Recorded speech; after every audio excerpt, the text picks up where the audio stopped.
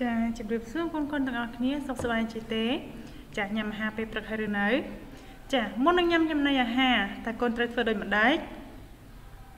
អឺហឺ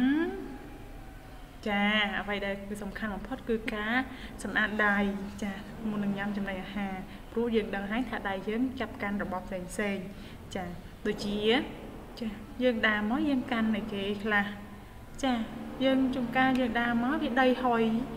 យើងមិនបានប៉ះទេតែមិនតែដីវាហុយចូលធ្វើឲ្យដៃយើងនឹងជាប់មេរោគអញ្ចឹងយើងត្រូវតែលាងសម្អាតវាឲ្យបានស្អាតមុននឹងញ៉ាំចំណីចំណីអាហារអូខេចាអញ្ចឹងថ្ងៃនេះយើងចូលដល់មេរៀនយើងបន្តទៀតចា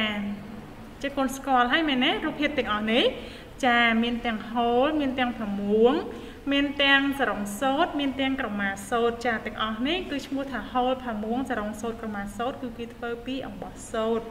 ចាដែលគេចិញ្ចឹមសត្វដង្កូវដួងឲ្យវាខាកើតជា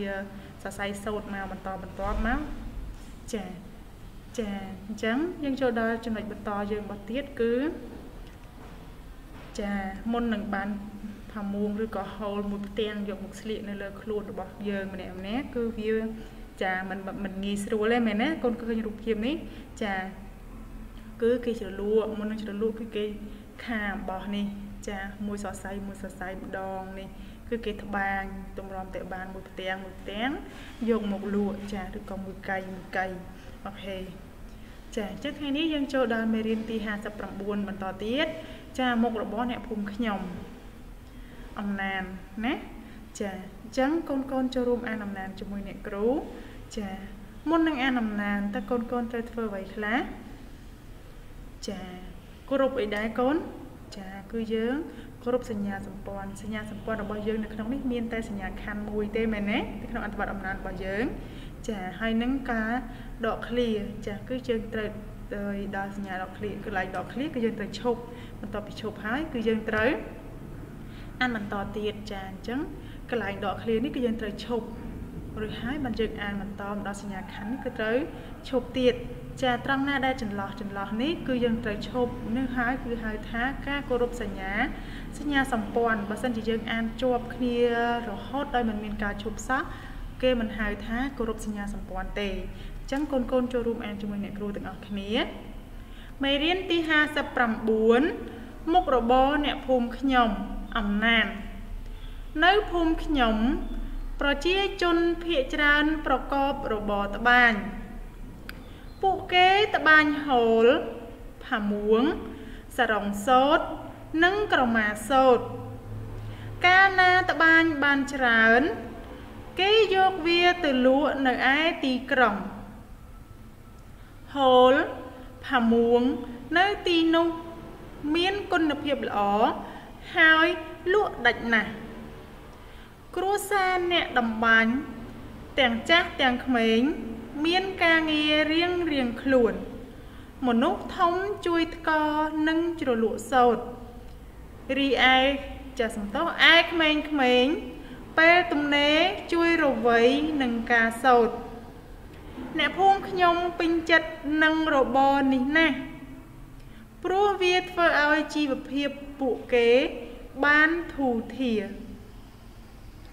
ចាអញ្ចឹងយើងតទៅដល់ចំណុចមួយទៀតថ្ងៃនេះគឺយើង ចូលដល់ការរៀនពាក្យចាការរៀនពាក្យរបស់យើង មានអំណានពាក្យអំណានពាក្យរបស់យើង មានពាក្យដំបាន ចាយើងសរសេរយើងសរសេរតមកជើងបស្រៈអានឹងនឹងញោអានថាដំបានចាបានន័យថាអក្សរតនេះវាជំនួសឲ្យអក្សរដនេះបានបានន័យថាយើងអានដំ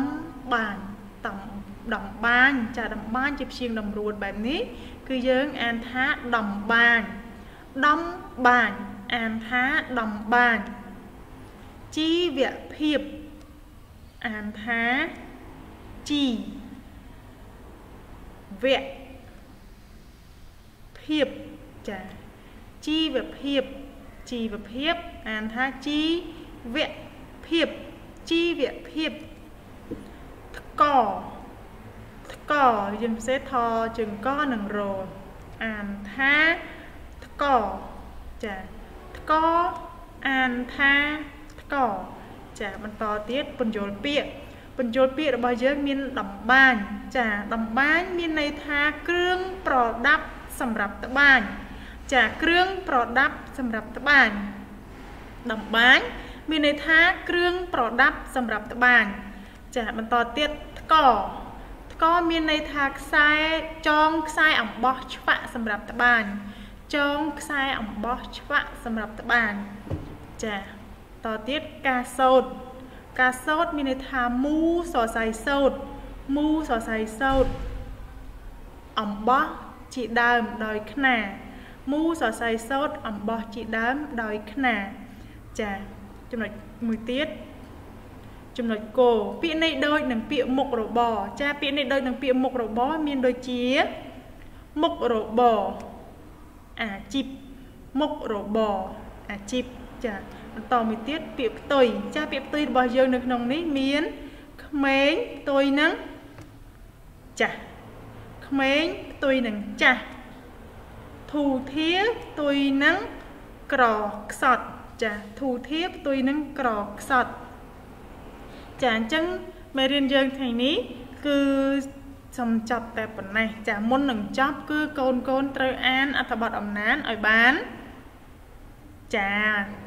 ល្អណាស់កូនឲ្យបាន3ចប់ចាអានអំណានឲ្យបាន3ចប់ឬហើយធ្វើអីទៀតចាចម្លងការរៀនពាក្យមានអំណានពាក្យបញ្យលពាក្យពាក្យន័យដូចនឹងពាក្យផ្ទុយចូលនៅក្នុងសិភៅចាចម្លងរួចហើយធ្វើយ៉ាងម៉េចទៀត ចាកុំភ្លេចថតផ្ញើអ្នកគ្រូជួយនៅពេលអានកូនអានធ្វើម៉េចចានៅពេលដែលអានគឺកូនថតជាវីដេអូផ្ញើមកអ្នកគ្រូរត់ចម្ងល់ផ្សេងផ្សេងសូមកូនឆាតជាសំឡេងមកសួរអ្នកគ្រូចាអ្នកគ្រូរងចាំឆ្លើយជានិច្ចអរគុណច្រើនជម្រាបលា